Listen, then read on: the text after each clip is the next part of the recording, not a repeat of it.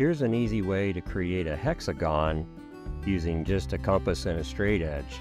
Now for the hexagon you need to know the length of one of the sides of the final sides of the hexagon. For example, if you're doing a, uh, you're building a hexagon shaped card table, playing table for cards, or maybe a small box that has a six-sided lid on it.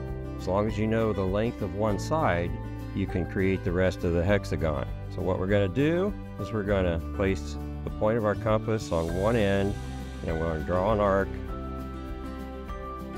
from each end and then from that intersection of those two arcs I'm going to draw a circle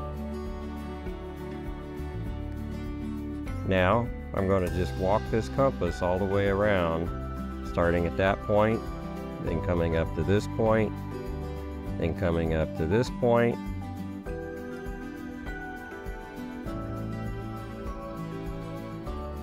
And get that in there trying to do this left-handed. And like so.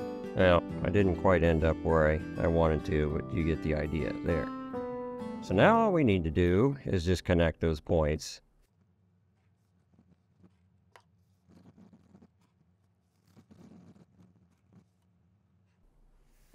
and there you have a hexagon